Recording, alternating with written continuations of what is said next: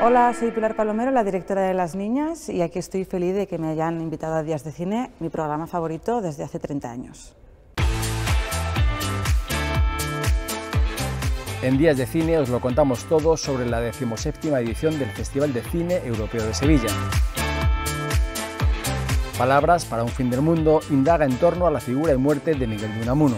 Estoy rodeado por una aterradora demencia colectiva.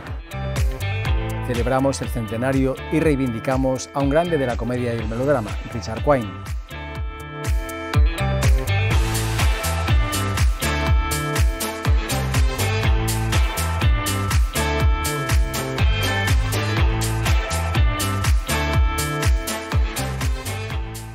La claqueta significa y me recuerda al trabajo, porque yo empecé haciendo un montón de cortos y sobre todo de meritorio de cámara, de vídeo asis, de auxiliar de cámara, entonces me enseñaron pues eso, todo el lenguaje de las claquetas, ¿no? la claqueta, claqueta final. Mm, yo hacía muy a menudo, me ocurría que metía la claqueta y no era el momento, entonces tenía que volver a ponerla y borrarla. Y para mí esto es el, la claqueta, el trabajo. El año que dejamos de jugar, basada en el bestseller autobiográfico de Judith Kerr, Cuando Hitler robó el conejo rosa, cuenta a través de la mirada de una niña la historia de una familia judía que huye de Berlín hacia Suiza justo antes de las elecciones que darían la victoria al Führer. Algunas veces tengo tanto miedo, papá. ¿De qué? Pues de esa insignia. Ana, la protagonista de nueve años, pertenece a una familia de intelectuales. Su vida acomodada se transforma de la noche a la mañana cuando con lo justo tienen que abandonar su ciudad y recorrer diversos lugares adaptándose a las costumbres, idiomas y penurias. Es una refugiada. Ahora la tendremos en clase. La alemana Caroline Link, autora de las estupendas Este niño necesita aire fresco y en un lugar de África, escoge habitualmente a niños para ofrecer una carga emocional en sus películas para adultos.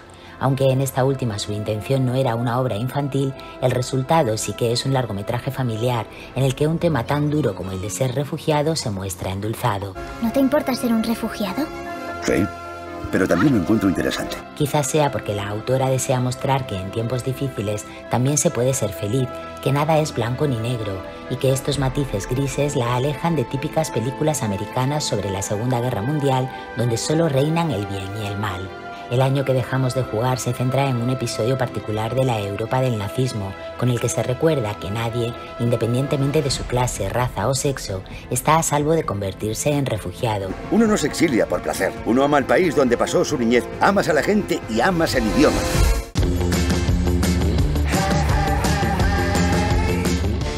Riesgo de que a mucha gente que les parezca mal, pero yo la película que le gusta a todo el mundo y que a mí yo me entretiene, pero no me entusiasma ni, la ten- ni tengo yo un recuerdo de mi infancia de ella tan excepcional, es Los Goonies.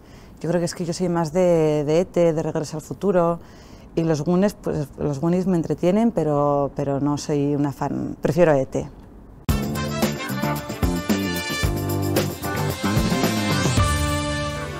¿Me acompañas mañana a ver a Tomás? ¿Conoces a Tomás? Es la ópera prima de María Torres, directora y co-guionista que se basa en la historia de su hermano. Tomás, ¿te acuerdas de Leo? Tomás tiene un trastorno del espectro del autismo. Adora la música y su acordeón, que lo protege. El día en que Leo y Tomás se conocen, Fer recibe una llamada del hospital. Tomás, me salió una cirugía muy, muy, muy importante y me voy a tener que ir. Déjalo conmigo. Solo llévate bien con él y ya. Te agarraste. Leo se queda a cargo de su hermano, hasta que su compañero de la banda le hace una oferta que no puede rechazar, tocar en la boda de un productor de éxito. Y allí se lleva a Tomás. En su aventura ambos descubrirán muchas cosas. Lo estamos pasando bien, diferente, pero chido. Para preparar su papel, el actor José Meléndez conoció a varios chicos con autismo para construir su personaje. Su trabajo es realista, respetuoso y consigue que empaticemos con él, algo que favorece la química que posee con Leonardo Ortiz Gris y Marcela Guirado. Tú no solo tienes que cuidar a uno, tienes que cuidar a dos. La directora opta por una sencilla comedia romántica, una historia de descubrimiento y de amistad. Conoces a Tomás es una feel-good movie que consigue algo importante, visibiliza y normaliza a las personas con autismo y a quienes les cuidan. Además, es una película solidaria, parte de lo recaudado en cines irá a proyectos de la Confederación Autismo España. Es chido el Tomás.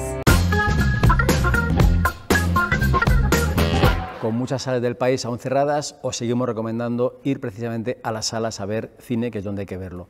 Dos películas. Emma, una nueva adaptación de la novela de Jane Austen, con Anya Taylor-Joy haciendo el personaje de Emma, maravillosa.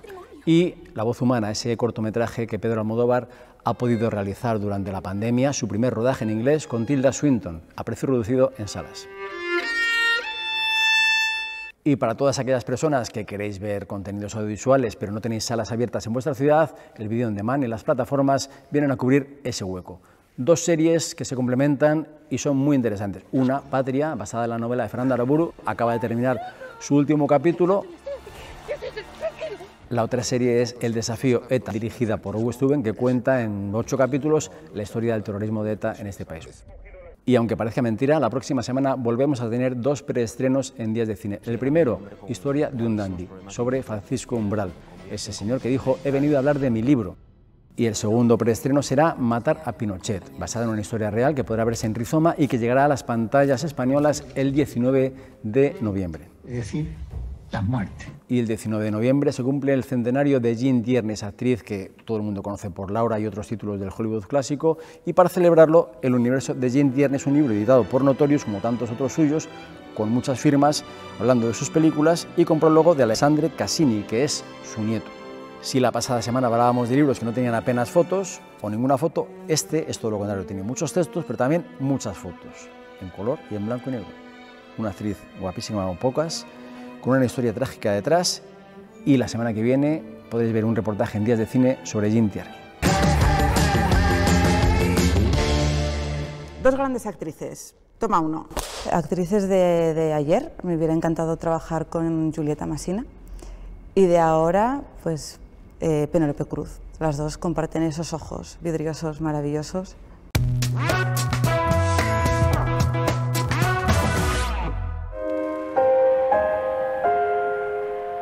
Autorizo a difundir ampliamente en mi nombre que vivo bajo llave y cerrojo y que estoy rodeado por una aterradora demencia colectiva.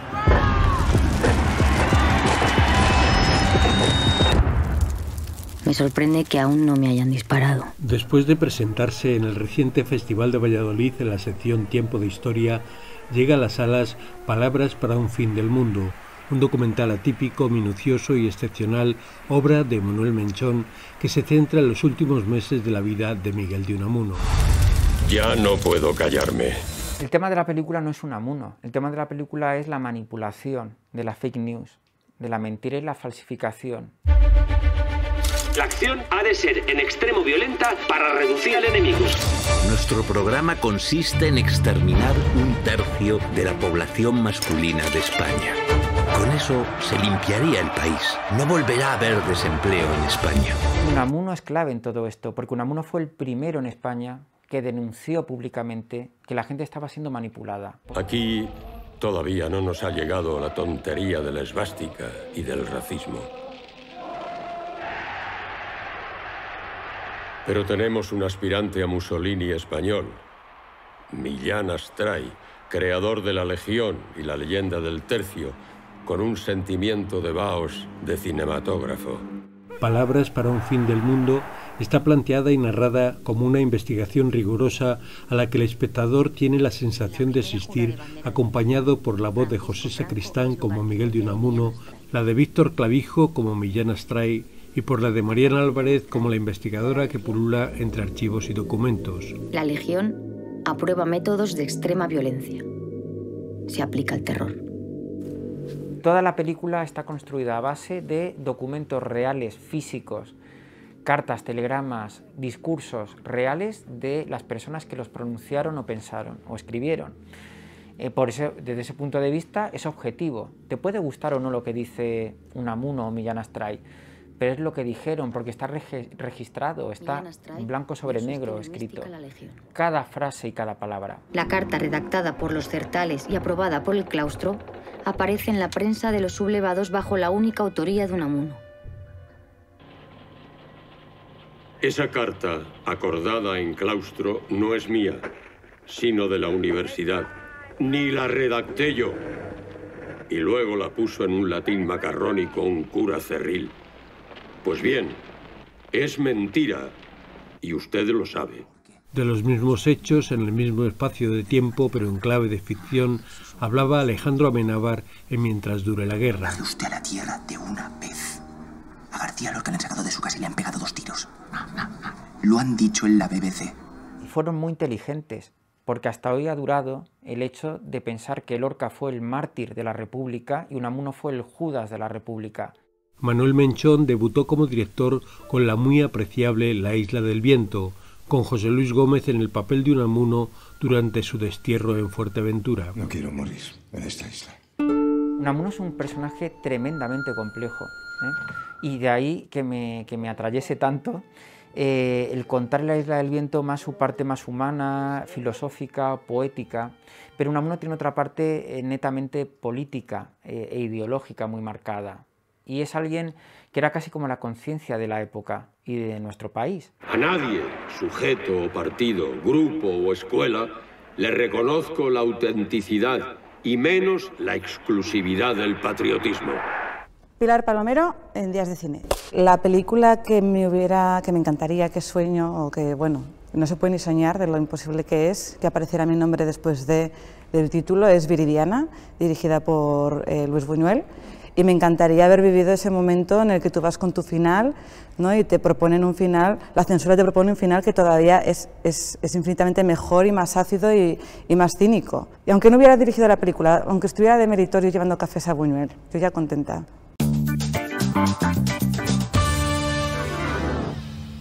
Los argentinos no nos vamos a callar, ni la Argentina está de rodillas por más actos intimidatorios o bravuconadas de la mafia que está saqueando el país. Sobrevivió a un intento de secuestro y a un atentado en el que llegó a recibir cuatro impactos de bala, pero finalmente se lo ha llevado el COVID-19. Hablamos del director, activista y político argentino Fernando Solanas, más conocido como Pino Solanas, que fallecía en París este sábado. Toda mi vida he estado muy ligado a, a un gran tema, que es el tema de mi país. Yo he vivido muy preocupado de, y muy comprometido, una suerte de militancia social por la vida de mi país y lo he padecido.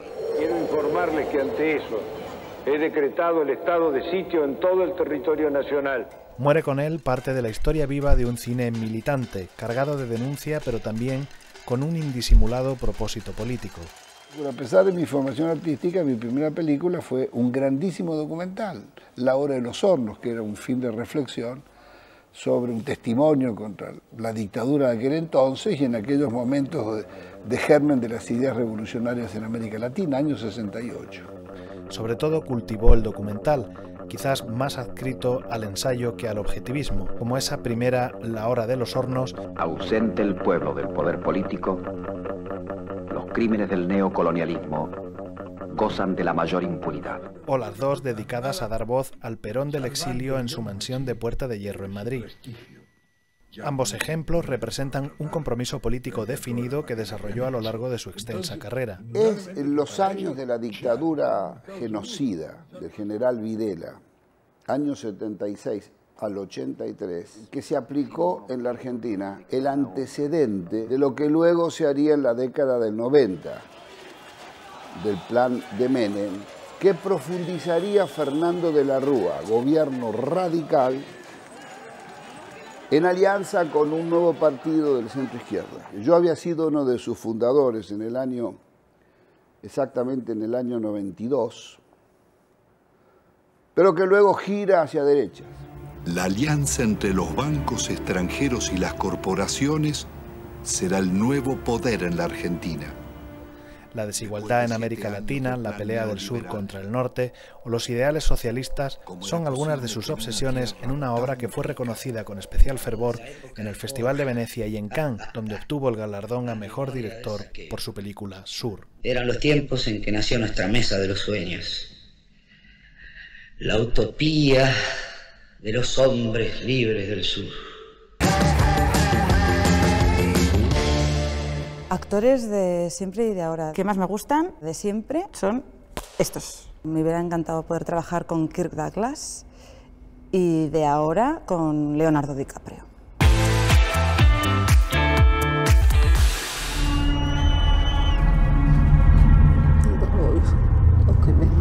Pese al título que evoca las mismas leyendas y tradiciones latinoamericanas, La Llorona de la que hablamos aquí nada tiene que ver con el género de terror en el que ha aparecido recientemente, tanto en películas como en alguna serie, aunque no por ello es menos terrorífica. Llévame al río. Ustedes son héroes, héroes de guerra, no víctimas. Bajo ninguna razón agachan la cabeza. Podrán tal vez reprochársele otras cosas, pero no se puede negar que el guatemalteco Jairo Bustamante posee una mirada singular que no discurre por fórmulas convencionales, puesta de manifiesto en sus dos anteriores filmes, Ixcanul y Temblores. Yo son los pecadores. Lo que no ama es el pecado. Premiado en Venecia como mejor director de la Giornata degli Autori por La Llorona, Bustamante vuelve al territorio en que nació, el de los indígenas de su país, para ofrecerles una voz solidaria e indignada con las atrocidades contra ellos cometidas por las élites criollas. El general insiste en que no hubo genocidio.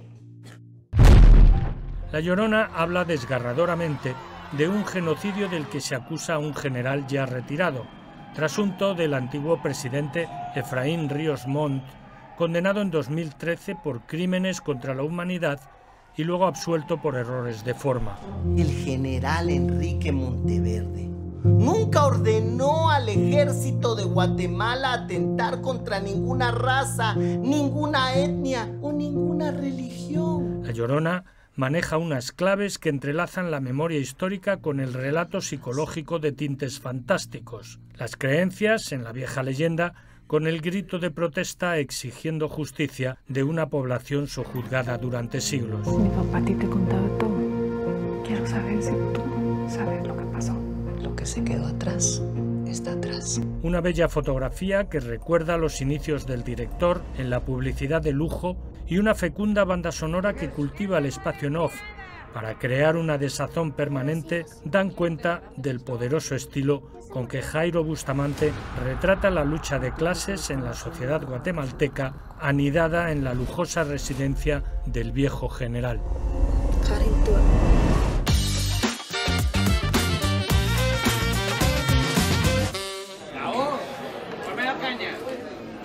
por favor. Cuatro.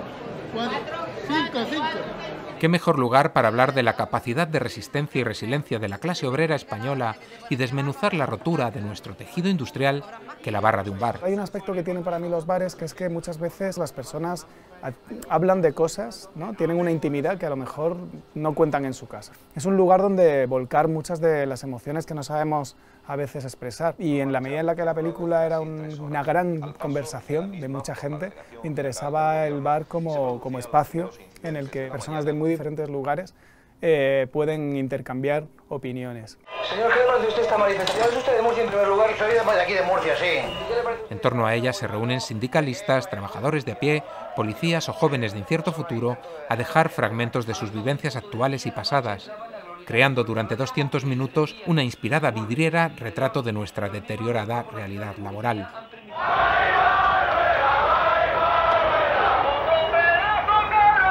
En el año del descubrimiento, Luis López Carrasco anima entre cigarrillos y bebidas a estos clientes a hablar a cámara. Una cámara con textura pretendidamente avejentada, transmitiendo la sensación de que los temas de los que se nos hablan nos llegan desde atrás, desde el año 1992, donde a la vez que España abrazaba su condición de destino turístico, un naciente liberalismo arrasaba las grandes industrias de la región de Murcia, en una guerra casi silenciada por los fastos del quinto centenario, la Expo o las Olimpiadas de Barcelona. tenía la sensación de que la reconversión industrial era un proceso que había afectado a cientos de miles de personas, había condenado a la ruina a, muchas ciudades para las que la década de los 90 fue un momento especialmente oscuro, pero me parecía que habiendo sido un proceso que que, define tanto a tantas personas y define tanto el modelo económico de, España estuviera todavía como por tratarse o reducido a cuatro lugares comunes. ¿no? Y decían, mira, tú en enero, febrero, marzo no vengas. Bueno, te pagan tu salario, tu subsidio de paro, perdías ahí un poquito. Bueno, lo, podías aguantar. El problema es cuando ya no es el primero, ni el segundo, ni el tercero, ni el cuarto, ni el quinto, es el sexto expediente de regulación de empleo en el que ya has gastado todas tus prestaciones, todas tus prestaciones de desempleo ya, no, ya había el riesgo de perder incluso el subsidio de desempleo y lo siguiente era el abismo, es perder el, empleo. Tiene la amplitud que tiene porque intentamos ser como bastante minuciosos para que se explique bien un poco cómo eran esos procesos. Y lo que sucede en Cartagena es extrapolable a, a Ferrol, a Sagunto, a Gijón, pero también es extrapolable a muchos países de Europa, a muchos países de Latinoamérica, también eh, público del sudeste asiático se siente increíblemente representado. ¿no? En tu ciudad estabas jodido y te estaban fastidiando la vida y encendías el telediario y era el país de las maravillas. Barcelona 92, Sevilla 92 y te decías, bueno, ¿yo qué? ¿Cartagena qué? ¿Y Huelva qué? La hipnótica desazón que destila la cinta interpela al espectador a confrontar esas vivencias con las propias, trascendiendo el localismo argumental a una realidad que, en vista de la crisis que se avecina, urge analizar, al menos para entender dónde está el sumidero por el que van a caer nuestros empleos y gran parte de nuestros privilegios sociales si continuamos en esta inercia. Sí que la industria de Cartagena seguía siendo obsoleta y autárquica porque el régimen no había permitido otro tipo, pero las que vienen ahora tampoco son mucho más avanzadas que las de entonces.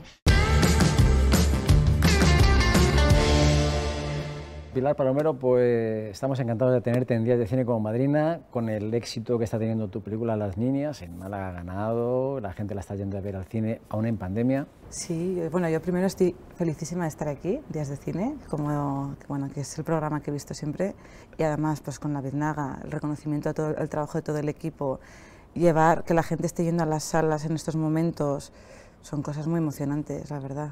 ¿Qué es para ti el cine? Uy, para mí el cine, la verdad que eh, es una vocación. Acabo de hacer mi primera película y llevo muchos años formándome, llevo mucho tiempo trabajando y ha habido momentos de plantearse, de tirar la toalla porque es muy duro, es muy difícil y realmente me di cuenta que seguía, seguía, seguía porque es algo muy vocacional y que cuando no tenía dinero, y eso es lo que espero seguir haciendo, si no tengo dinero cogeré mi cámara y seguiré grabando. Entonces creo que es una es una, algo pues eso, muy pasional que nace muy, muy de dentro. ¿Cuándo te pica a ti el gusanillo para, para tener esa idea? ¿Desde pequeñita? ¿Veías películas de pequeñita? Algo... No, era, no era realmente cinéfila, ni descubrí, no puedo decir que a los 14 años veía Berman, ni, ni nada por el estilo, sino que fui poco, muy poco a poco leyendo, interesándome, y empecé estudiando fotografía y en la Escuela de Cine de Madrid. Y un día dirigí un corto y lo pasé fatal, la verdad, tengo que decirlo. Fue muy duro, pero luego ver, que, ver el resultado, ver que llegaba, que podía contar cosas, pues me hizo sentir que, que sí. Cada vez hay más mujeres que dirigen. Lo decía Josefina Molina en una charla que tuvimos en Valladolid, que la organizó CIMA, el creerse también que puedes hacer cine, ¿no? que, que como pues cuando no tienes tantos referentes para, para seguir o, donde verte reflejada, pues cuesta un, un, poco más. Quizás haya sido eso, tampoco tengo yo la respuesta, pero sí que es bonito ver que ahora hay una ola de nuevas directoras. ¿Es importante la formación para, para llegar a hacer cine o solamente con películas, vale, o las dos cosas es lo ideal? Yo soy de la teoría, como Belatar, que fue también una escuela en la que estudié en Sarajevo, que él nos lo decía siempre, que el cine no se puede enseñar. No hay una manera correcta de hacerlo o incorrecta. Ya lo mismo que a la hora de escribir un guion o de plantear una puesta en escena. Yo lo creo que lo ideal es las dos cosas. Formarte, pero sobre todo por vivir la experiencia de estar con otra gente que quiere ser cineasta, de los que también aprendes, de tus profesores. Me di cuenta que las escenas que más me, o las películas que más me, más me emocionan o que más me impactan son las que veo y digo, pero, pero ¿cómo lo han hecho? O sea, como, pero igual cosas muy pequeñitas a nivel de emoción o de, pero ¿cómo me ha llevado hasta aquí? ¿no? Y ese es el, ese es el gran trabajo de, de, de cineasta, claro. Eh, esto de Sarajevo quiero que me lo cuentes, estos cursos que me parecen muy interesantes. Surgió en mi vida esta posibilidad de ir a Sarajevo, con Belatar, director húngaro. Era un proyecto un poco extraño que ya no existe, de hecho, en el que seleccionaba 16 cineastas del mundo para vivir una experiencia cinematográfica y en, Sarajevo, en Bosnia. Y, yo envié así mis cortos y mi carta de por qué quería ir y, un día, muy surrealista, me llegó un, un email de Belatar, eh, Welcome to Film Factory. Entonces ahí fue el momento en el que dije, venga, ahora tengo que echar toda, toda la carne al asador y voy a por todo, o sea, voy a por todas. Es que yo lo cuento y, y suena hasta eh, casi de mentira. Nos han dado clases Gus Van Sant, eh, bueno, clases, es que no eran clases, eran, venían, estaban 15 días en Sarajevo con nosotros y comíamos, cenábamos, compartíamos esos 15 días con los directores que venían, pues Carlos Reigadas, eh, a Pichapón. Al final éramos unos 25, unas 25 personas de todo el mundo, desde Islandia hasta Japón, Australia, todo el día hablando de cine, haciendo cine, viviendo el cine, pues claro, eh, realmente es una experiencia que nos ha marcado a todos los que hemos estado allí. el guion de las niñas también es tuyo, ¿no? Sí. ¿Por qué es tan importante el guion en una película? En el guion de las niñas, al que le dedicamos muchos años, o sea, realmente, porque yo sabía el tema del que quería hablar, pero luego pues el desarrollo nos ha, llevado mucho tiempo, lo hemos trabajado mucho, eh, pero luego a la hora de rodar, eh, yo tenía muy claro que quería también olvidarnos el guion, ¿no? como plantear escenas que, pues, que estuvieran más improvisadas, pero luego el resultado es, es, el guion. O sea, ha sido un viaje como de olvidarnos el guion para volver a él. ¿no? Has escogido un formato que no será habitual ahora, que es un cuatro tercios, eh, y formalmente la película eh, tiene mucha solvencia. Lo que he intentado y que ojalá esto es lo que, lo que llegue y lo que hemos intentado todo el equipo es precisamente bueno eso no eh, tratar también de contarse una historia de pequeñas cosas no de pequeños detalles. Entonces hacer lo mismo en, todo, en todos los departamentos no ir a lo grande no ir a, a, los movimientos de cámara que hipnotizan no es más una historia muy íntima de ir, con Celia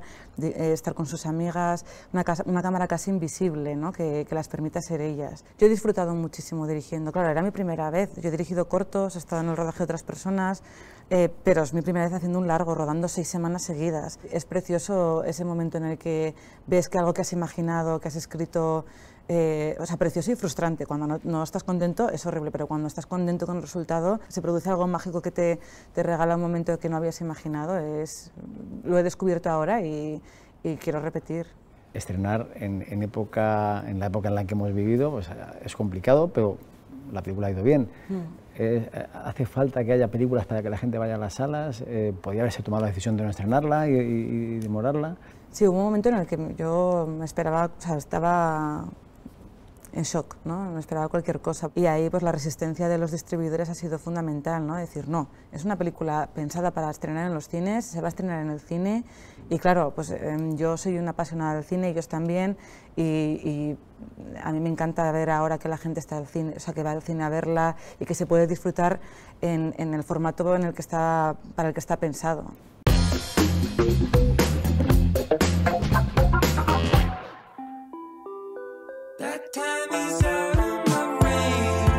Tener planificado un festival de cine y que quede desbaratado una semana antes de su inicio. Encajar horarios, pases, eventos y reorientar actividades y encuentros con la prensa en apenas unos días para que pueda llevarse a cabo de la mejor manera posible. Parece una locura y lo es, pero también es una realidad, la que ha vivido Sevilla en este año tan catastrófico en que nos encontramos.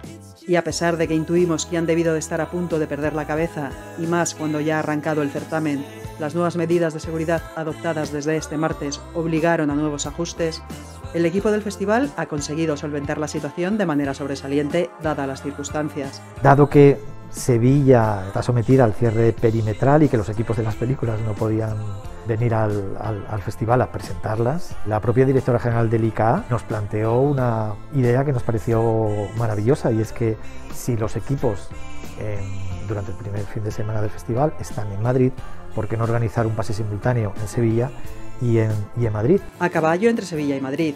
Y con la complicidad de Internet y las nuevas tecnologías, la edición número 17 del festival ha contado hasta con una gala de inauguración en la que por supuesto se respetaron las normas y protocolos COVID-19, como en todos los encuentros y sesiones.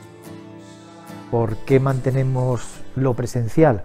En primer lugar, sobre todo en lo que es la sección oficial, no podía ser de otra manera. Son películas muy recientes, son películas que no han tenido todavía recorrido internacional, que no han circulado, muchas de ellas todavía no han sido ni estrenadas en sus propios países. Eh, no es posible que esas películas estén a disposición de las plataformas de manera inmediata.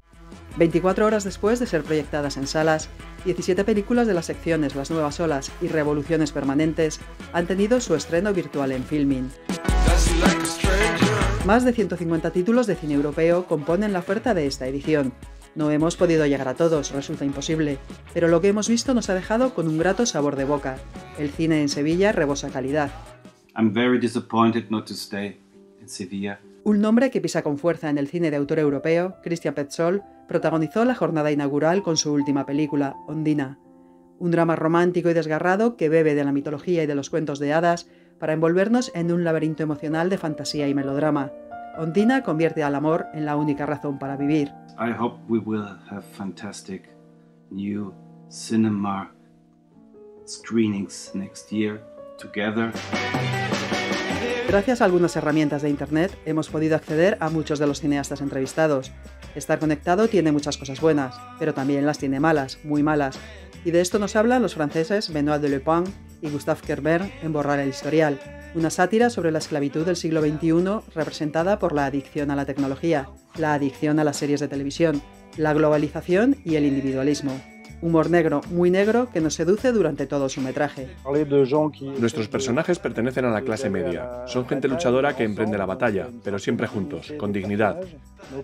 Luchan contra los molinos, como Don Quijote, pero en este caso el molino a combatir es el capitalismo. El sueco afincado en Varsovia, Magnus von Horn, también fija la mirada en Internet, en este caso en las redes sociales. Silvia es una gurú del fitness que vive por y para sus seguidores de Instagram. Pero no todo es tan bonito como parece. La princesa está triste, la princesa está sola, ¿o no? Von Horn nos agota física y emocionalmente con un personaje que bajo su aparente simplicidad está repleto de matices. Echaba en falta películas que trataran el mundo de los influencers en las redes sociales de forma creíble, realista. Tres películas españolas compiten en la sección oficial. Tres películas muy diferentes con algo en común. Son tres grandes películas. Del año del descubrimiento ya os hemos hablado en otro reportaje, dado que se estrena esta semana, y eso es una magnífica noticia. De las más de tres horas del documental de Luis López Carrasco a los 65 minutos de Karen, una belleza de película que nos acerca a la escritora Karen Blixen, protagonista de la célebre Memorias de África. Lo que ella quería era sobre todo retratar la vida doméstica, eso que nunca vemos en las aventuras épicas, ¿no? los momentos que pasan entre es donde transcurre la vida de verdad. ¿no? María Prezán transforma la dehesa extremeña en un paisaje africano y nos cautiva con esta pequeña gran joya que retrata la amistad entre la escritora y su criado somalí, con el colonialismo y el feminismo como elementos inevitables del cuadro. Una delicia. La idea un poco formal de la película era que al principio sí que el paisaje iba a tener una importancia y la relación de esos personajes dentro del paisaje, pero que a medida que la relación de Farah y Karen iba copando toda la película, nos íbamos a ir ¿no? centrando cada vez más en ellos y más en ellos y cerrando y cerrando y cerrando. ¿Piensas que estás en un sitio que te gusta? El guion me daba vueltas, vueltas, vueltas, vueltas en la cabeza porque es tan bonito y el personaje es tan maravilloso. Nos emociona también y mucho La vida era eso, ópera prima de David Martín de los Santos. Petra Martínez nos vuelve a dejar sin palabras como una mujer producto de su época que ve su vida patas arriba gracias a la aparición de una encantadora Ana Castillo. Es maravillosa, tiene pues la cara que tiene, la expresión que tiene, la interpretación que tiene y eso pues te lo hace todo más fácil. Un viaje físico y emocional intenso que no está reñido con el optimismo. No es una película de respuestas, sino que es una película que plantea pues el diálogo con, con todo el que la vea, ¿no? Pero en Sevilla no solo hay películas. Adictiva también es la exposición virtual de Cecilia Mangini, cineasta y fotógrafa adelantada a su tiempo, que cultivó la no ficción en Italia. La exposición complementa el homenaje que Sevilla ha querido rendir a esta maestra de la imagen, que a sus 93 años sigue en activo. Otro homenajeado ha nacido en Sevilla, Olmo Figueredo. A pesar de su juventud, el productor de La Trinchera Infinita ha recibido el premio a toda su trayectoria. Ojalá sea el aperitivo de un posible Oscar tienen que dejarnos y, nos, permitirnos que sigamos trabajando porque sabemos hacerlo con unos protocolos eh, de rodaje súper escrupulosos para seguir llevando esas historias que cuando vengan momentos malos o no tan malos nos ayuden a evadirnos. Este año el Festival de Sevilla estrena sección Historias Extraordinarias, una selección de películas que apuestan por un cine cercano, abierto y directo que aspira a remover al espectador. De hecho, será el público quien decida el ganador de este apartado. ¿Esta cuándo te quedas? Pedro Collantes debuta en el largo con El arte de volver, y viéndola solo podemos augurarle un futuro brillante. Macarena Gómez es Noemí, una actriz que tras seis años en Nueva York vuelve a España. Pero nada puede ser lo mismo. Va de un encuentro a otro, literalmente, seguidos, uno detrás de otro, todos suceden en un día y es un poco como si fuera una pelota en, en, un pinball, ¿no? en una máquina de estas que va rebotando y entonces voy aquí, voy aquí, voy aquí. El gallego Alfonso Zarauza ha rodado en un enclave privilegiado, la isla de Ons, un drama sobre el amor y los celos con tintes fantasmagóricos. El humano sigue siendo el ser más misterioso del planeta. ¿Sabes qué es? Tiene una parte de misterio, pero tiene fundamentalmente trata temas que tienen que ver con, con nuestra manera de, de entender las relaciones afectivas. El belga Laurent Micheli nos muestra una relación paterno-filial abocada al fracaso, la de un hombre que no quiere escuchar y su hijo trans. La sombra de la esposa y madre recién fallecida planea sobre ellos en forma de milagro. Lola es un ser humano complejo, como todos, con su fortaleza y sus debilidades. No quería que fuera una víctima. Ella se ama como es. El problema está en la mirada del otro.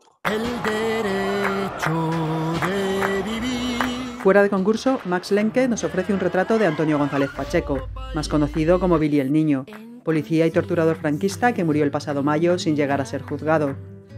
Un documental imprescindible, fruto del mecenazgo, que nos confirma la trascendencia de la memoria histórica, porque no se debe evitar hablar de lo que aún duele. Yo creo que, un país que, no es capaz de, de, y de saber lo que le pasó, es un país que tiene muchas dificultades de poder avanzar, ¿no? Dear Werner, today I decided to start walking in the ice. En Diar Werner, Pablo Maqueda parte de su particular mapa del tesoro, el libro del caminar sobre el hielo de Werner Herzog, y elabora un sensible y cautivador canto al cine, al amor, al amor al cine, a la necesidad de hacer cine, a la lealtad, a la amistad y al fracaso. Sí, al fracaso, porque los fracasos nos enseñan más que los éxitos. Yo animo a todos los cineastas eh, que, que, que, se cojan una mochila, que se lancen al camino y que encuentren su propia, su propia manera de contar historias con lo opuesto. En Los Inocentes, Guillermo Benet plantea un conflicto moral centrándose en un grupo de amigos cuya amistad se pone a prueba debido a un hecho dramático. Un retrato poliédrico, formalmente hipnótico, que nos golpea en la conciencia. Nos dimos cuenta que a nivel formal lo que queríamos trabajar con la película era esa soledad. Y entonces no solo el formato, sino todo el resto, toda la batería de, de decisiones formales que hay en la película, creo que lo que buscan es hablar de la soledad del ser humano. Dentro de las producciones andaluzas nos encontramos con Una rara avis de Antonio Gens, un documental sobre actores porno cuyo modo de vida es el sexo en vivo. Lo que más sorprende es la sensación de cotidianidad en un mundo que resulta tan ajeno y desconocido. A mí lo que más me sorprendió de ellos es que son tremendamente conservadores en su vida privada. Se quieren casar, no quieren hacer escenas con gente que no sean sus parejas, tienen ahí un, un comportamiento eh, muy moralmente conservador cuando ellos están representando justo lo contrario. La lectura de las nominaciones a los premios europeos, el homenaje a una actriz fundamental, la francesa Emmanuel Beard. La atención al papel de la mujer en la sociedad y por supuesto en la cultura, y el debate sobre el futuro del cine. Todo esto y mucho más ha tenido cabida en la decimoséptima edición del Festival de Sevilla. Los mitos son referentes para la vida y las y las películas para mí lo han sido, me han ayudado, me ayudan a vivir. Y mientras el tiempo pasa y seguimos inmersos en esta desconcertante realidad, una pregunta golpea en la cabeza. ¿Somos los mismos espectadores que antes de la pandemia? Valoramos cosas que dábamos por sentado hace muy poco. Todas las cosas que de alguna manera dábamos por supuestas que estaban ahí. Lo que más echo de menos es ir al cine juntos a ver películas. Sea como fuere, una cosa está clara. El cine y las ganas de cine están ahí, latiendo. Soy optimista. Creo que el cine va a resistir. Tiene que ser casi como un acto político, tenemos que decirlo por bandera, eh, todos los días, todas las veces que haga falta. El cine seguro. La película que me viene a la cabeza ahora, nada más pensar en, una película que me haya entusiasmado y que me haya emocionado, pues he pensado ahora en Dónde está la casa de mi amigo de Abbas Kiarostami, que bueno, es una película que es muy, tiene una estructura muy sencilla, pero que llega a unas cotas de emoción súper altas con una sencillez impresionante.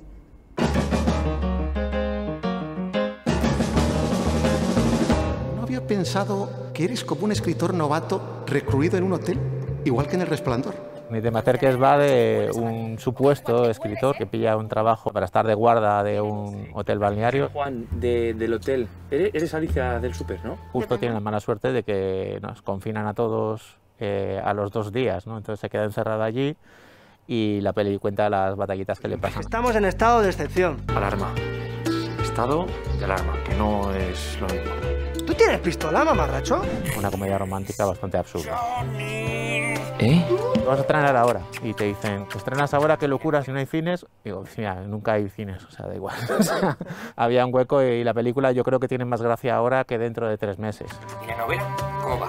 Viento en popa. ¿Y me vas a sacar a mí? Es una novela histórica. Mejor me lo pones. ¿Me vas a dejar pasar o voy a tener que ir a por una orden de registro? La, la cuarentena. La cuarentena, Antonio, no se puede ahora... ¡Tranquilo! Si no estoy de servicio. En vez de tomárnoslo a trágico, como tantas otras cosas que se han rodado en cuarentena, de que parecía que la gente estampando la cabeza contra algo tele, que era una cosa que a mí no me interesaba nada, pues nos lo hemos tomado más en coña, sin reírnos de los muertos, evidentemente, pero en plan de, mira, vamos a vivirlo un poco como lo ha vivido la gente normal en su casa. Es decir, qué putada estar encerrado, qué aburrimiento. Yo no me encuentro mal. A lo mejor somos asintomáticos. Ni tan mal.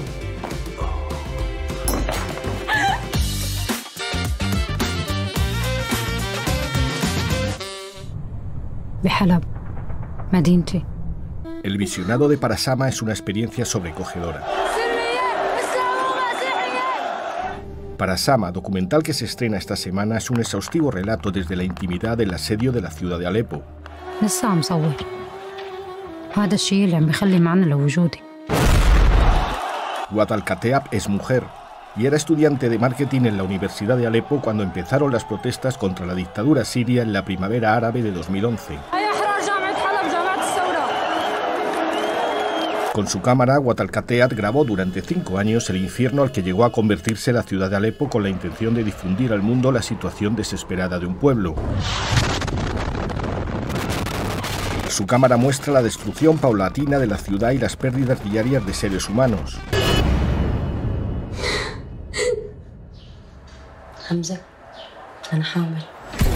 Y a la vez grabó su propia vida en medio de ese horror. Durante estos cinco años, Wad se desespera, siente miedo, pero también se enamora. Se casa con el médico disidente sirio Hama y es madre de Sama, su primera hija. Sama, Para Sama, en el fondo, es una carta de amor a la hija de Wad un mensaje grabado destinado a una niña de un año para explicarle quiénes eran sus padres, por qué lucharon y por qué Sama vino a este mundo. Un recuerdo para la niña en caso de que sus padres no consiguieran sobrevivir.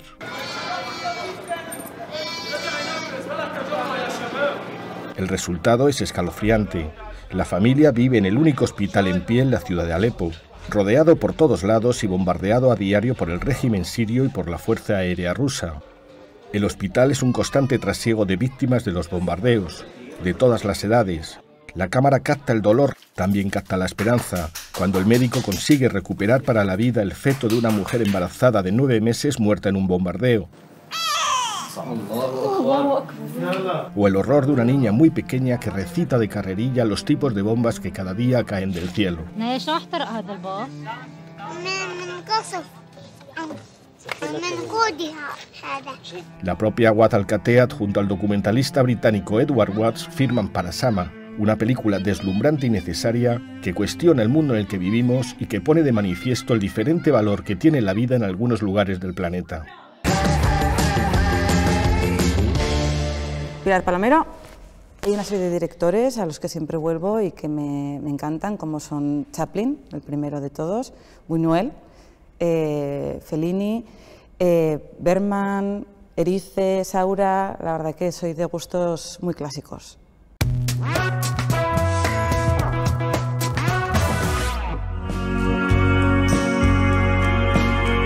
Con motivo del centenario de Richard Quine nos alineamos con aquellos que le reivindican.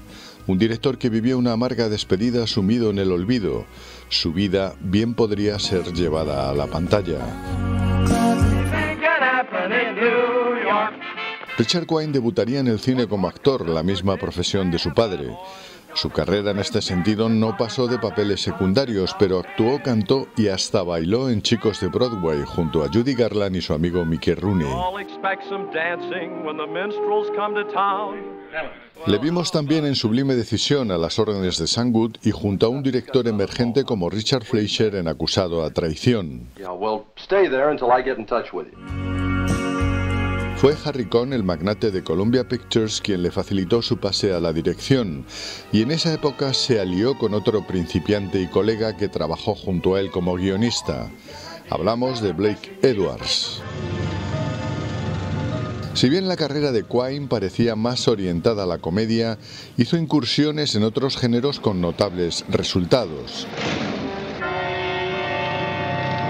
Fue en 1954 cuando Quine realiza dos películas de cine negro con intensas dosis de melodrama que llaman la atención. I go to the beach every chance I get.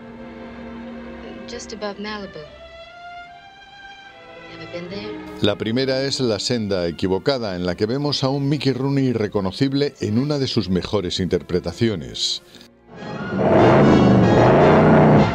Un mecánico que sueña con correr las 24 horas de Le Mans es seducido por una bella mujer, Diane Foster, para que se una como conductor a una banda que planea el asalto a un banco.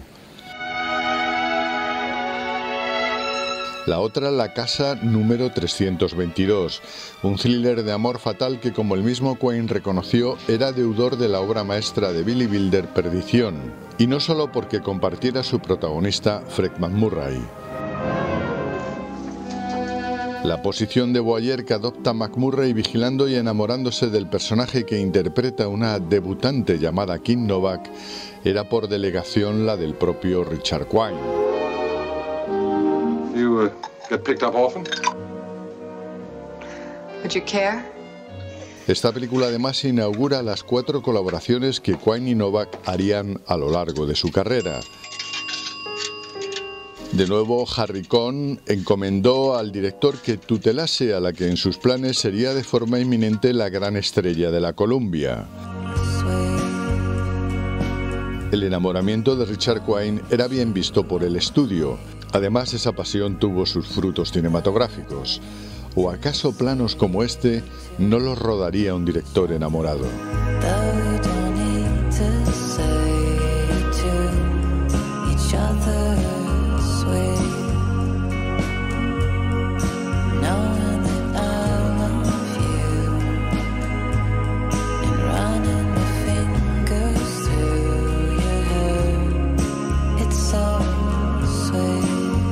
Pero antes de llegar al cenit de la colaboración Quine-Novak, repasemos otros títulos de los que serían los mejores años de su trayectoria. Se da la circunstancia de que la deliciosa Mi hermana Elena era el remake de una película de los 40 en la que Quine participaba como actor. Su personaje de entonces lo interpreta ahora un joven bailarín y coreógrafo, su nombre Bob Foss.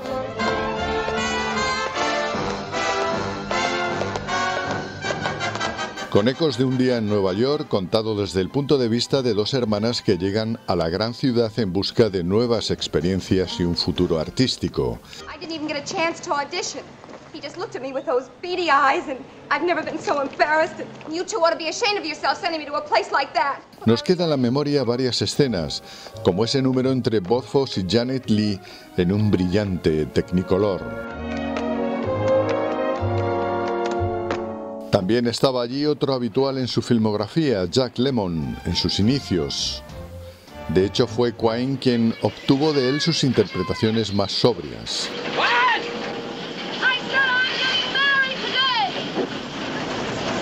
Is one of the last places on this sweet earth where the democratic process is still going on. This is really America, or was. And the very soul of our system is the dignity of the average American. The dignity and the inalienable right to stand up and fight for what he believes in. Any more symptoms since I saw you? También con Lemon de protagonista hizo en esa época Operación Gran Baile, un claro precedente de MASH, en tanto irreverente visión de la guerra y el ejército.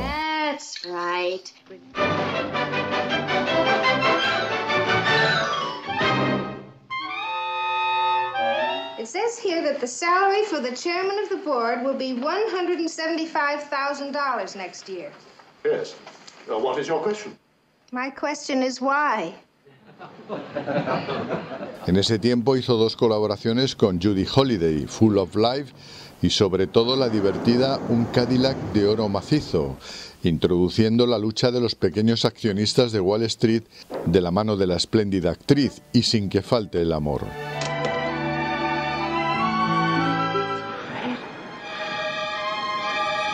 A cambio de que Columbia cediera a Paramount a Kim Novak para que interpretara la obra maestra de Hitchcock, Vértigo, Jason Stewart hizo lo propio repitiendo cartel en Me enamoré de una bruja, una Kim Novak experta en hechizos románticos. There's a timelessness about this. I, I feel spellbound. Mm, stay that way. Sorry you not know how to accept present too.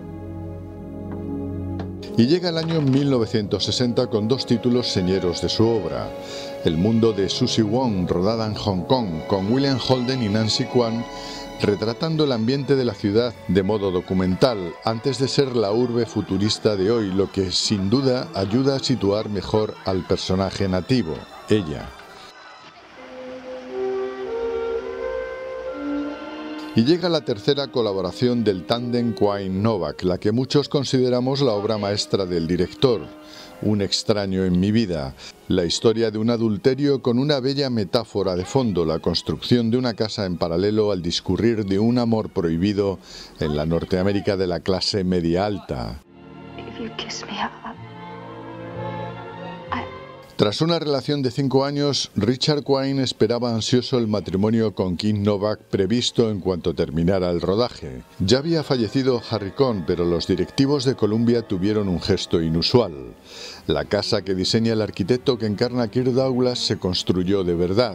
Ex profeso para la película con la intención de una vez finalizada entregar las llaves a la flamante pareja como regalo de bodas. Pero durante la filmación ella se echó para atrás y rompió el compromiso. Hay quien dice, y así lo creemos nosotros, que la tensión melancólica que exuda Kim Novak en una de sus inolvidables interpretaciones era un reflejo de lo que estaba pasando entre bastidores. Un extraño en mi vida es la quinta esencia de un género en el que Richard Quine pudo dar rienda suelta a su lado melancólico e incluso oscuro. El crítico norteamericano Scott Foundas lo dijo así.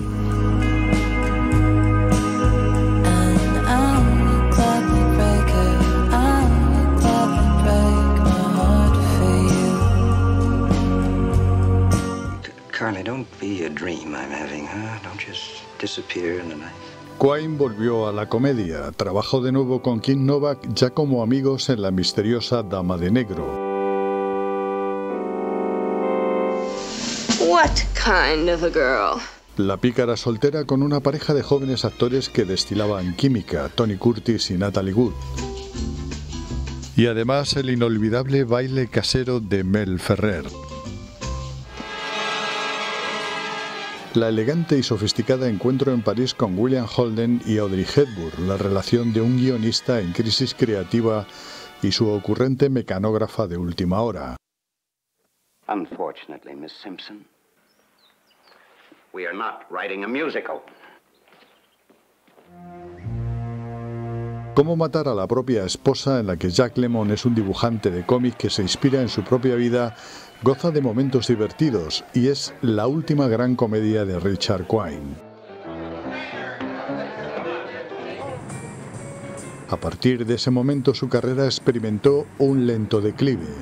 En Synanon con Stella Stevens abordó los estragos de las drogas adoptando un estilo de cinema verité.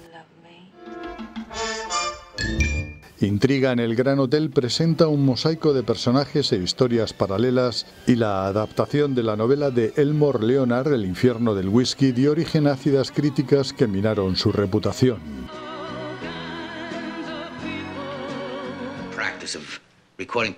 Pues vendrían trabajos de supervivencia, algunos episodios de la serie Colombo, una rareza al servicio de la modelo Twiggy? Y el estrafalario prisionero de Zenda con un decadente Peter Sellers.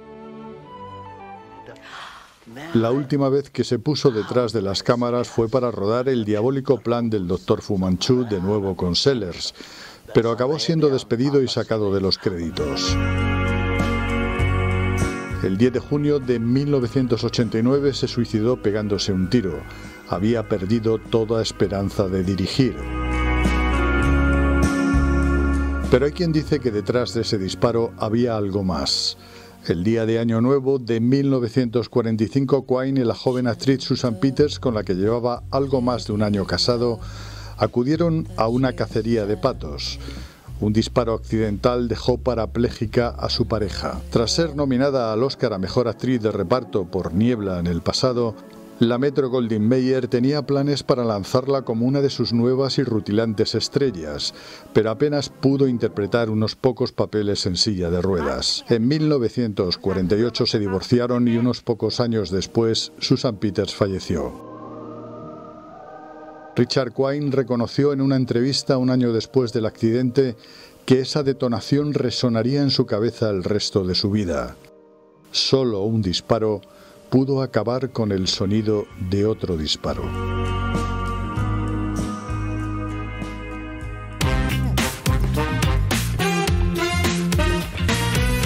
Uno de mis momentos favoritos de la historia del cine es la escena final de la película Dublineses de John Huston. Está basada en un relato de James Joyce y en el momento final la mujer, Angelica Houston, tiene un arrebato y un momento en el que le cuenta un secreto terrible que ha guardado toda su vida a su marido y él mira por la ventana y en un momento casi epifánico eh, tiene una reflexión sobre la vida, sobre la muerte y es un texto escrito, pero realmente creo que ahí me impactó el poder de, de, la imagen para narrar eso, ¿no? como las imágenes eh, de John Huston eh, hacen incluso mejor el texto de James Joyce. Snow is falling. Falling in that lonely churchyard where Michael Fury lies buried. Falling faintly through the universe and faintly falling, like the descent of their last end, upon all the living and the dead.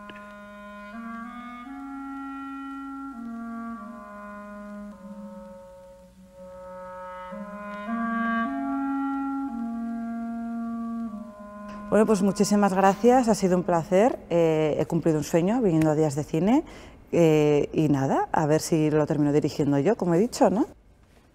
Vamos a tener que hablar tú y yo muy seriamente de esto que acaba de decir. Esto, un lapsus, un esto lapsus. No puede ser. Claqueta final. See, Mr. Gitz, most people never have to face the fact that at the right time and the right place, they're capable of anything.